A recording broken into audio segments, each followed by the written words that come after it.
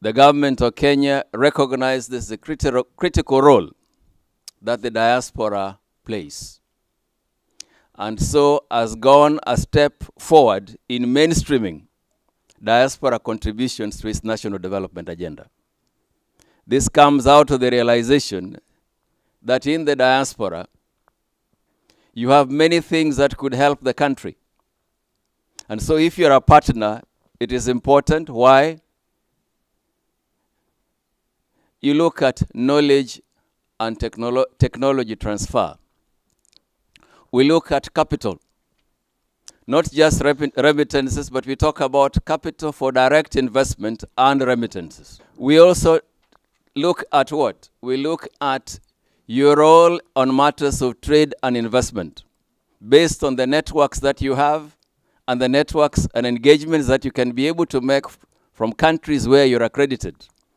Those can go back to Kenya to help us develop that beautiful country to a level that you'd be proud of. Able to um, build up our own country. And in doing that as students, we'll be exporting back our knowledge into the country to be able to help it to grow. But one thing that's happening with students here is that most of them are staying in and doing jobs that are not really up to their educational qualifications because they're worried about going home and not being able to get jobs. What is in place at home?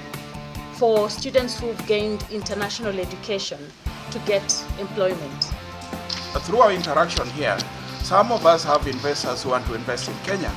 But sometimes we find that if you take them there, there is nothing coordinated. So I was thinking that it probably, if it's handled from London, you have investors, they pass through the High Commission, then it is coordinated where if they go, they are not sent from this office to this office to this office, and then you're sent back to a politician who is taking you to a different restaurant to discuss something you didn't even want to talk about. I want to know what uh, what plans are there to actually get us involved in the policy making as far as diaspora matters are concerned, other than where we are just finding we have we are, you there's an office for diaspora.